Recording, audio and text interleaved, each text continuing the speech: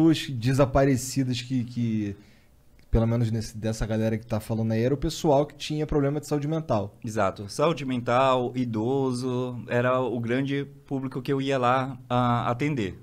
Tá. Ainda é assim? Ainda é. São casos de questões de saúde mental, um, dependência química, um, pessoas com conflitos familiares e idosos. Idoso acaba se perdendo e tal, tá com uma questão de Alzheimer ali. E a, às vezes tem uma lembrança anterior, ah, morou num bairro, na, morou na Zona Sul, mas mora hoje na Zona Leste.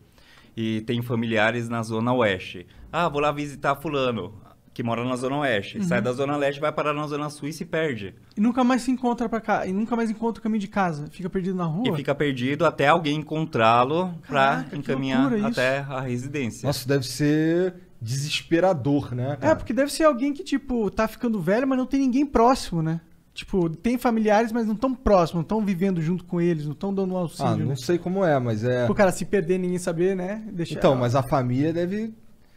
Pô, imagina, tu, tu, teu avô, tá ligado? Que mora contigo ali, de repente um dia fala que vai visitar não sei quem e não volta mais. Então, aí, porra, aí no dia seria bizarro, né? Pois é.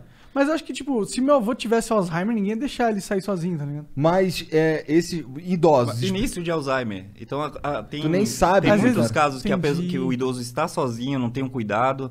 Ah, e tem casos que o idoso mora com a família realmente, mas está com início ali de Alzheimer, então vai ali, tá ali na rua e então acaba se perdendo. Então Pode foi diagnosticado com. Teve um caso que a família nem sabia, depois foi diagnosticado que ele já estava com início de Alzheimer. Mas esses coroa aí, é, a família deve fazer o BO o mais rápido possível e não ficar tanto tempo assim perdido, fica? Ah, temos um número muito alto de de BO, desaparecimento efetuado, mas também temos um número muito alto de encontrados, que 80% dos casos são localizados rapidamente e 20% do caso leva um tempo maior para ser localizado ou ficam em aberto por um tempo até a pessoa ser localizada. Ah, os casos do... pegar um pouquinho do caso de idosos, um, vamos lá tentar lembrar aqui na... Eu estou meio ansioso agora, já voltando a ansiedade. Bebe uma cervejinha é aí, fica tranquilo. Assim. Ansioso por causa de quê, cara? Que é só os amigos, pô. Que é só os amigos. Na verdade, eu tô curiosíssimo, pô, porque pra mim, quando eu vi, eu vi, ó, eu chamei você, a gente escolheu chamar você aqui porque eu vi uma matéria sua no UOL, que saiu, Dark Hunter, mais de quatro, é, 500 encontrados esse ano, um negócio assim.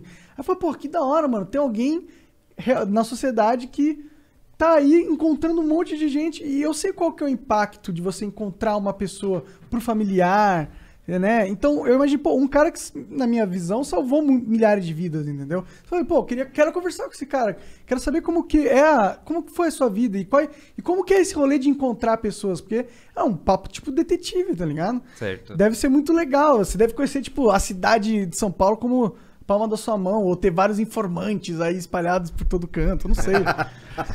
Esse dia quem localizou um senhor que tava a mulher, a ex-mulher que era mulher dele, aí não deu para entender que uma hora ela falava que era ex-mulher, outra hora era mulher que estava procurando por ele. Quem que informou onde o cara estava foi um, uma pessoa em situação de rua também. Ele mandou um WhatsApp para mim, falou: "Ó, oh, ele tá aqui e tal".